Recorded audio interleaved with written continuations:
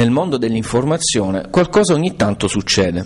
ProPublica.org, sito di informazione indipendente, si aggiudica il premio Pulitzer nella categoria giornalismo d'inchiesta grazie ad un reportage realizzato in un ospedale di New Orleans nei giorni successivi al mortifero passaggio dell'uragano Katrina. ProPublica non è un organo di informazione qualsiasi, è un contenitore di giornalismo fatto, come scritto nella testata, nell'interesse generale e finanziato da singoli donatori, alcuni dei quali assai facoltosi. L'informazione online è oramai in grado di competere a pieno titolo con i mezzi di comunicazione tradizionale, ai quali sta sottraendo giorno dopo giorno fette consistenti di pubblico. Il giornalismo, soprattutto quello d'inchiesta, non si può più basare solo su logiche di profitto e di ricerca dell'audience, perché questo significa produrre contenuti generalmente mediocri, simili l'uno all'altro, sostanzialmente piatti ed insufficienti per soddisfare la domanda di informazione.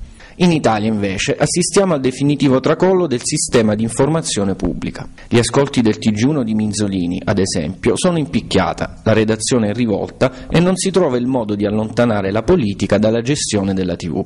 Il governo persevera nel ritardare gli investimenti sulla banda larga e taglia in un modo o nell'altro fondi ai giornali, alle tv e alle radio, soprattutto a quelle indipendenti. In questo scenario parlare di giornalismo d'inchiesta diviene una presa in giro Eccezione fatta per alcuni lodevoli casi, come report di Milena Gabanelli e presa diretta di Riccardo Iacona. Il nostro Paese, non a caso, sprofonda nelle classifiche internazionali sulla libertà di informazione. La speranza viene dal web. Costi di investimento e di gestione assai contenuti possono aprire la strada a modelli innovativi non solo dal punto di vista della tecnologia, entrata oramai nell'uso quotidiano di milioni di persone, ma anche e soprattutto per quanto riguarda i modelli editoriali.